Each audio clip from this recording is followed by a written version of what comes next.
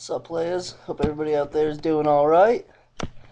This is actually a video idea that I think I'm going to turn into a quick little video series of maybe three videos. Uh, Brandon actually gave me this idea, Spinnernet. Check out his channel if you don't know him. He does sports and wrestling videos. But, anyway, as you can see from the title of this video, this is Will these guys make the Hall of Fame or will these guys not make the Hall of Fame? And this is the wide receivers edition. These are just gonna basically going to be wide receivers that have either retired within the last five years, so they're not eligible to be in the Hall of Fame yet, or still active wide receivers who are on the borderline, who could possibly even play their way into the Hall of Fame, or if they get injured or start fucking up, they could play their way out of the Hall of Fame. So we'll see what happens. Um, I'm to start off with a Steelers wide receiver by the name of Hines Ward. I don't think Hines Ward deserves to be in the Hall of Fame to me, to be a Hall of Fame wide receiver, I think you have to do a couple of things. First of all, year in and year out, you have to be at least within the top 10 of wide receivers. And I don't think year in and year out, as far as receiving wise and as far as catching balls wise, that Hines Ward has been able to do that. I know Hines Ward is an amazing blocking wide receiver. I know he's a very physical wide receiver, and I know he's probably one of the greatest slot wide receivers in the game. I know he does things that other wide receivers are incapable of doing, but as far as from a traditional standpoint of a wide receiver of catching the ball and you know distributing the ball around, I don't think Hines Ward deserves to be in the Hall of Fame. Uh, move on to another one. Marvin Harrison, formerly of the Indianapolis Colts. I think Marvin Harrison should make the Hall of Fame for a couple of reasons. I know he is going through some legal issues right now, but let's not forget, him and Peyton Manning hold the all time record for quarterbacks throwing to wide receivers and touchdowns. So I think just that alone, I mean, that's a big time record. That alone should have him in the Hall of Fame consideration. And then the fact of how consistent he was. He played year in and year out and was one of those top, probably even in the top five wide receivers. Yes, he did have Peyton Manning, one of the greatest quarterbacks of all time. But I think there could be an argument made that, you know, he helped Peyton out a lot too in the beginning of his career and helped him start off and become a great quarterback. So I would definitely put Marvin Harrison in the Hall of Fame. Um, what another thing I always liked about Marvin Harrison is he was a quiet guy. He went out there and did his business. He didn't need to be like a couple other guys on this list, always talking shit, always you know starting something up with his team. You know he just did. He went out there and he did his job week in and week out, and he was a great wide receiver. So I would definitely throw him in the Hall of Fame. Um, the next person I'm going to move on to is Chad Ochocinco.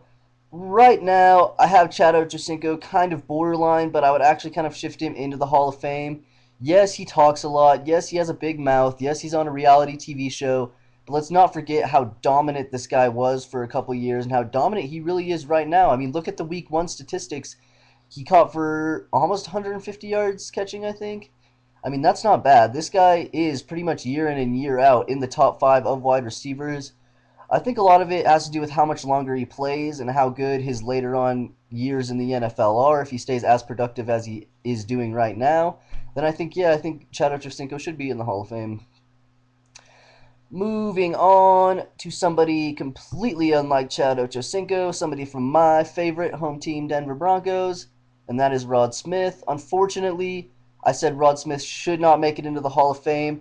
I felt Rod Smith got a little bit more consideration for what he did, considering he was undrafted coming out of college. You know, he was a great feel good story, and he really played a lot of excellent years for the Denver Broncos.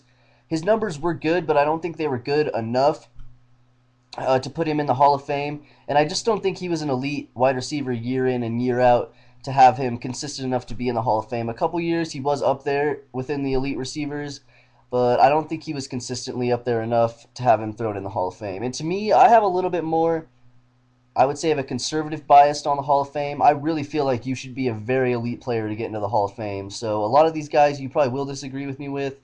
Just post a comment and tell me why. Um, another guy who I kind of had out of the Hall of Fame for the same reason as Rod Smith was Joe Horn. He was kind of a really good feel good story for the Saints when they weren't making the playoffs all those years, one of their really good, talented players when they didn't have very many talented players.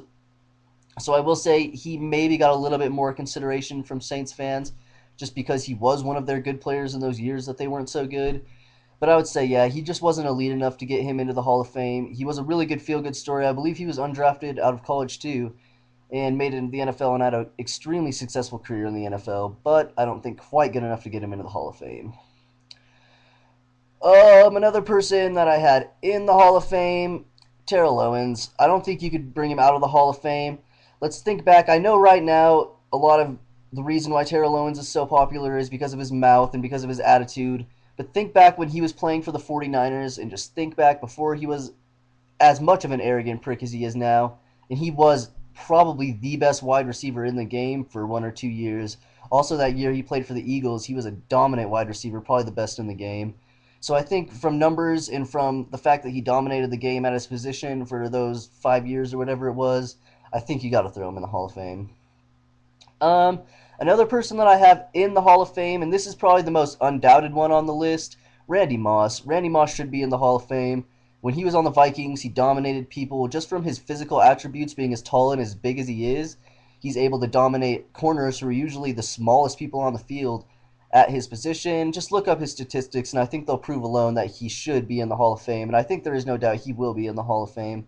But I threw him on that list just because of that little span he had with the Raiders. I think if he would have never came back to the Patriots, then the argument would really be on the table if he should be in the Hall of Fame or not. But since the fact that he did go back to the Patriots, he had a couple successful years. That year that they went undefeated and went to the Super Bowl, and I think that alone should put him in the Hall of Fame. La da da da da.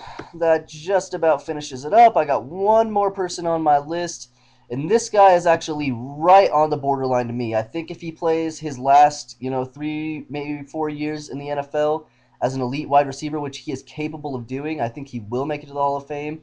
And I think if he drops off, has an injury, doesn't play quite as well as he did in his prime, I think he might miss out on the Hall of Fame. And this person I'm talking about is Steve Smith of the Carolina Panthers.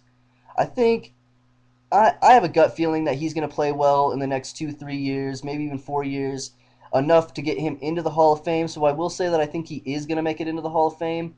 If he does get injured right now, he's not going to make it into the Hall of Fame. If he has a season ending injury or a career ending injury, I don't think he'll make it to the Hall of Fame. And even if his numbers drop, significantly than what they've been when he was in his prime or even the last couple years because he's been a pretty efficient wide receiver, then yeah, I don't think he'll make the Hall of Fame either.